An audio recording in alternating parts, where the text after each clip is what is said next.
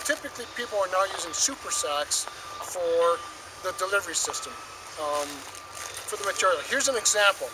This is from electrical wire. This is just the hulls from the wire. This is perfect, perfect for our lightweight concrete product, or for anybody's lightweight concrete product. Let me just move down the line here and show you cable television.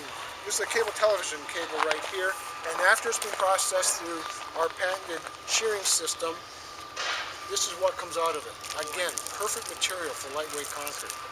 And then we move down to something completely different. And you've seen some of the bags that went up on the conveyor and the trash that went up on the conveyor.